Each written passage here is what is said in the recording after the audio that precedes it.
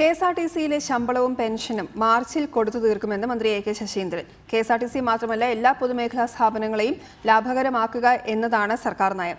പ്രതിപക്ഷത്തിന്റെ വിമർശനങ്ങൾ ജനാധിപത്യത്തിന്റെ ഭാഗമാണ്. തനിക്കെതിരായ വിമർശനങ്ങളെയും ആ അർത്ഥത്തിലാണ് സമീപിക്കുന്നത് എന്നും ശശീന്ദ്രൻ കണ്ണൂരിൽ പറഞ്ഞു. കെ എസ് ആർ ടി സിയെ സ്വന്തം കാലിൽ നിൽക്കാൻ പ്രാപ്തമാക്കുക എന്നതാണ്. അത് കെ എസ് ആർ ടി സിയുടെ കാര്യത്തിൽ മാത്രമല്ല പൊതുമേഖലാ സ്ഥാപനങ്ങളെ ആകെ സ്വന്തം കാലിൽ നിൽക്കാൻ പ്രാപ്തിയുള്ള സ്ഥാപനമാക്കി വളർത്തി അതുമൂലം ജനങ്ങൾക്കും അതിലെ ജീവനക്കാർക്കും തൃപ്തികരമായ സേവനം പ്രദാനം ചെയ്യുക എന്നതാണ് അതിന്റെ ലക്ഷ്യം. അതിന്റെ അടിസ്ഥാനത്തിൽ ഇപ്പോൾ പെൻഷൻ കുടിശ്ശികക്കായി വേഴാമ്പലുകളെ പോലെ കാത്തിരിക്കുന്ന ദുരിതമനുഭവിക്കുന്ന പെൻഷൻകാരുണ്ട്. ആ പെൻഷൻകാരുടെ പെൻഷൻ കുടിശ്ശിക മാർച്ച് മാസത്തോടുകൂടി കൊടുത്തു തീർക്കാനുള്ള ക്രമീകരണങ്ങൾ ചെയ്യും എന്ന് പ്രഖ്യാപിച്ചിട്ടുണ്ട്.